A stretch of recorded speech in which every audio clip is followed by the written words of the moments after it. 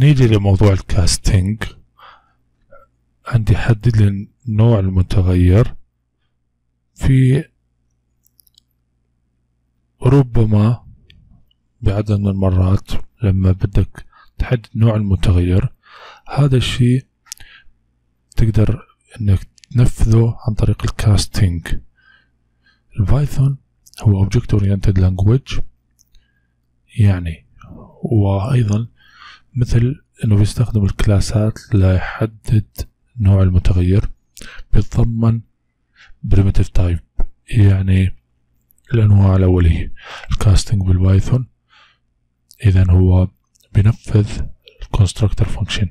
يعني ال integer مثلا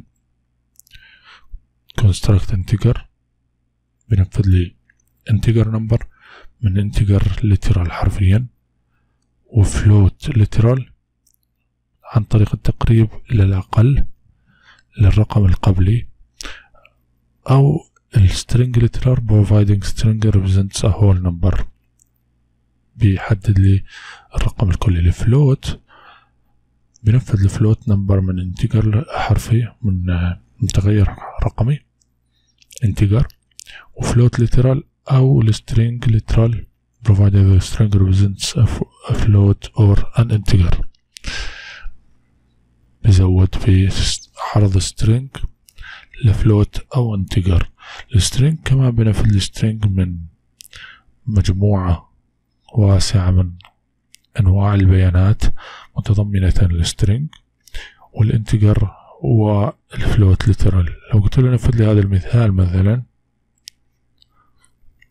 إذا قلنا ال float ال integer float راح يقرب لي للقيمة القبلية. هنا ال integer واحد. راح يعطيني integer واحد يعطيني واحد. اثنين فاصلة ثمانية قلنا راح يلغي ويرجع لي للقيمة اللي قبل يعني اثنين. وال integer ثلاث النص راح يعطيني ثلاث. نفذ ما عندي أي مشكلة. قلت له طبع لي إياهن لل X وال Y وال Z.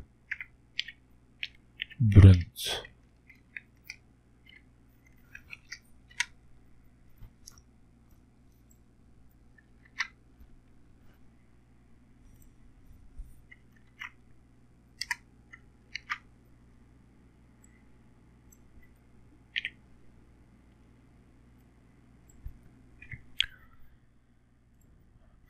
نفذ فعلا جاب لي هاي واحد وهاي رجعها لاثنين وهاي طبع لي إياها ثلاث.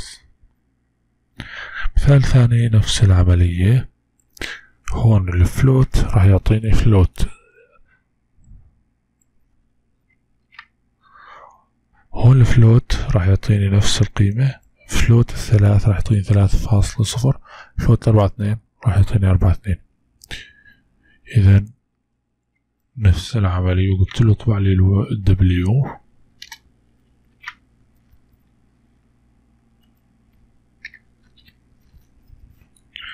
نفذ نفذ لي. هاي عطاها فاصلة هاي عطاها مثل ما هي ثلاثة عطاها فاصلة والأربعة فاصلة اثنين عطاها فاصلة. إذا نحول إياهم ل float كمان عندي أمثلة ال string. نفس العملية.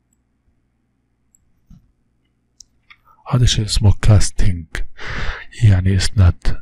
هون شوف بنلاحظ إنه ال X S 1 string بدي أحولها ل string فحولها ل string الثاني راح يعطيني كمان string الاثنين هو integer بس حول إياها ل string ليش؟ لأنه أنا قلت له casting string يعني أعطاني string هاي float ثلاثة فاصلة صفر float كمان حول إياها ل string حط لي إياها بين ال quotation mark single quotation mark قلت له نفذ لي. فعلا أعطاني أياهم كلهم string string string string